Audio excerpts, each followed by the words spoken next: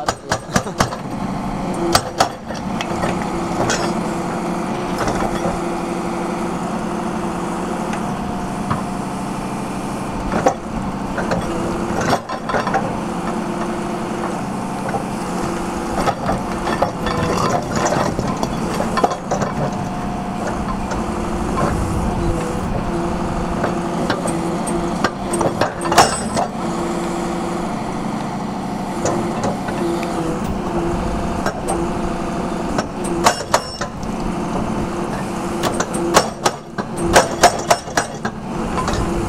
Dobro udar.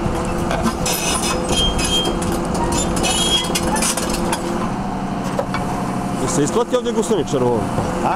Guseničar se isplati ovdje? Ako ne bi mogli. Ne bi mogu drugačije, jel da? Jer on se je penjao ga mi njega po obali gore. Da, ima, da, da, da, vidim, vidim. Hoćeš da? Pa slikom, slikom, a da ga zovemo. Okrenite ga, okrenite.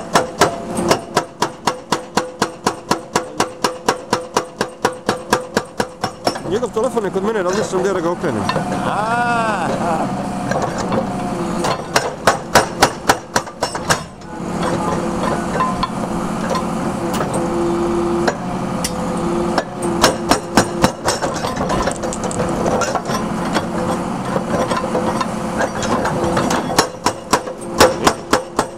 Kako ga on.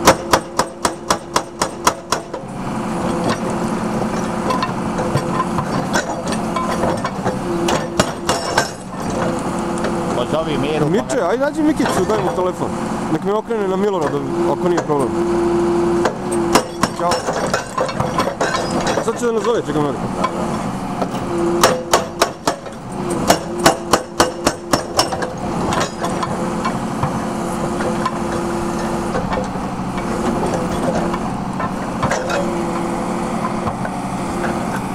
Samo